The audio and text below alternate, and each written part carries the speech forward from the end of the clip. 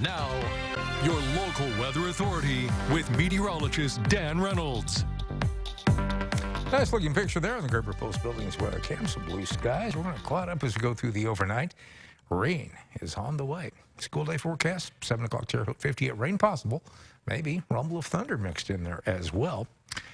Here's what we're tracking. Monday rain, stormy Wednesday possible. We'll keep it on that day. Warm start to the week, cooler weekend, but seasonal. So not bad. Terre Haute right now, some sunshine, 67.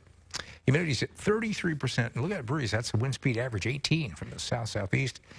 Falling rapidly, the pressure, 29.75. No rain today here at the studios. 300 yesterday. So very light rainfall yesterday and uh, been a dry start for the most part to the month of April, but we'll change that.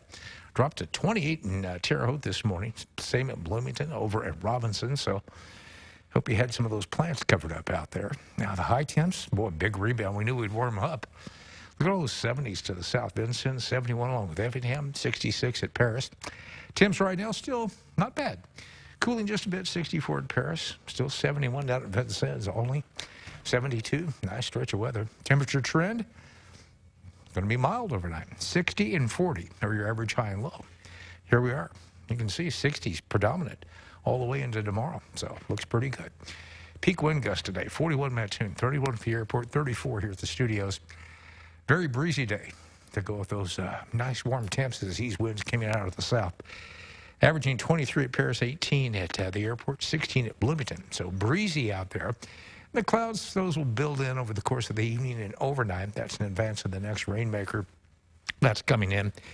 Think mainly showers, possibly, rumble of thunder. Big picture right now, everything's relatively quiet.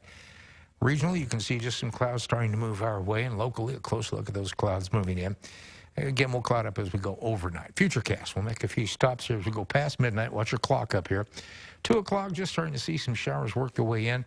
Approaching 5, 6 o'clock, kind of falls apart and then ends up in the southeast. So not real big. And then Monday, everything looks to be southeast of Terre Haute, but some thunderstorm activity mixed in there too. Wednesday will be the day, though, when we'll see more widespread rain and possibly some stronger storms, so we'll keep tabs on Wednesday. Rainfall out of this first round, uh, models have updated a bit, up to, to oh, about three quarters at Vincennes, eight tenths there at Olney, over half inch, and then lighter amounts as you go up toward Terre Haute. Now, Wednesday's the big system. That will include the possibility of some stronger storms as we go through the day right there, and then we should dry everything off until we get to Sunday. We might see a line of showers come through on Sunday. As far as temps go, well, it's going to stay mild, 60s, maybe one day in the 70s.